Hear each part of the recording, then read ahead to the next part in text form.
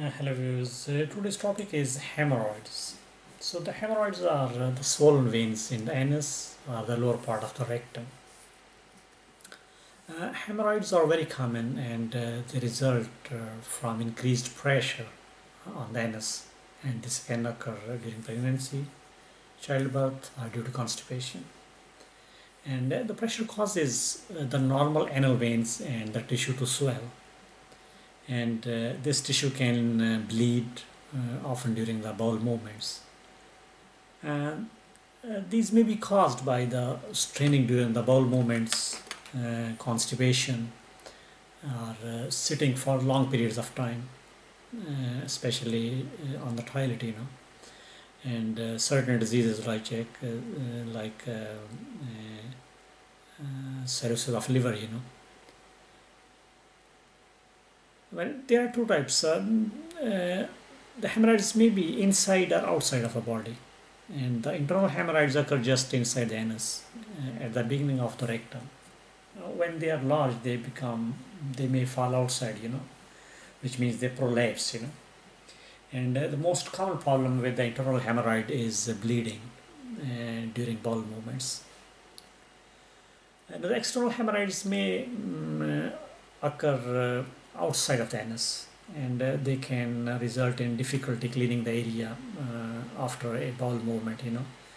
And uh, if a blood clot uh, forms in an external hemorrhoid it can be very painful.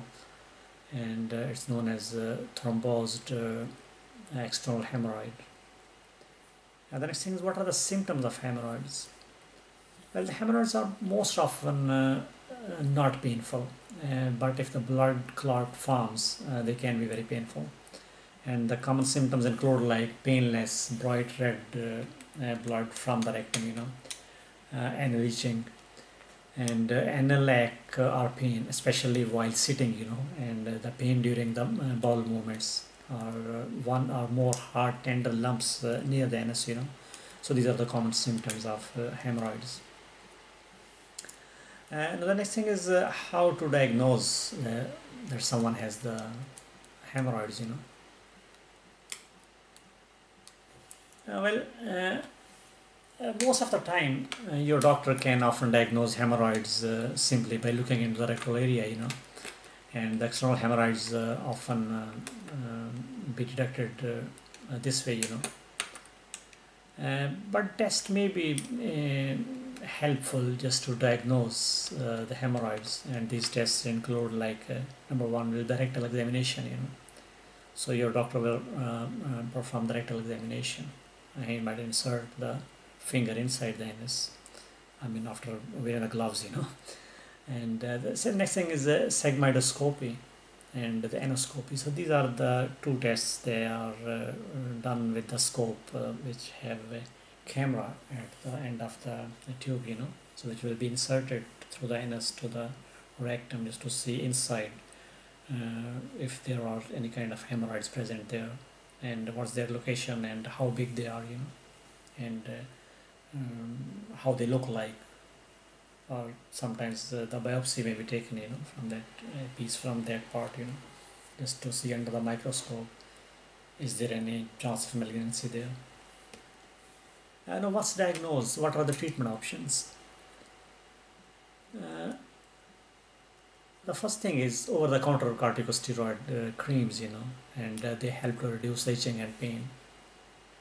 And uh, the hemorrhoids creams uh, with um, lidocaine uh, to help reduce the pain, you know. In fact, these creams numb that area, you know and the stool softeners to reduce the constipation. So these are the treatment options uh, initially yeah, at the early stage, you know. Well, uh, the things uh, there are certain lifestyle changes as well that uh, you can mm, do to change to uh, make the symptoms better, you know, like uh, apply uh, hazel, uh, uh, witch hazel, you know, to the area with a cotton swab, you know, or uh, wear the cotton underwear, you know, uh, avoid toilet tissues uh, with perfumes or the colors, you know, uh, use the baby wipes instead, and uh, try not to uh, scratch the area. Uh, no, sitz bath can help uh, to feel better. And sit in warm water for up to 10 to 15 minutes, you know. And if your hemorrhoids do not get better with the home treatments, you need to mm, some type of other treatments, you know, uh, to shrink the hemorrhoids.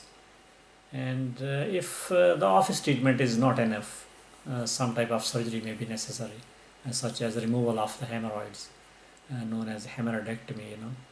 And these procedures are generally used for the people with the severe bleeding uh, or the prolapse uh, who cannot respond to the therapies, you know.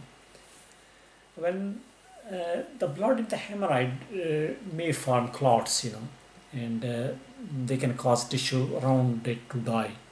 And surgery is sometimes needed to remove the hemorrhoids uh, with the clots, you know. And uh, rarely severe bleeding can occur, and iron deficiency anemia can result from long-term uh, hemorrhage, you know, which can uh, so if you are losing too much uh, blood, you know. Well, constipation, thing is how to uh, prevent, you know, the hemorrhoids. Well, constipation, uh, straining during the bowel movements and sitting on the toilet for too long increases the risk of hemorrhoids. To prevent the constipation and hemorrhoids, uh, you should uh, drink plenty of water, eat fibrous diet, you know, and uh, consider using the fiber supplements and the stool softeners as well.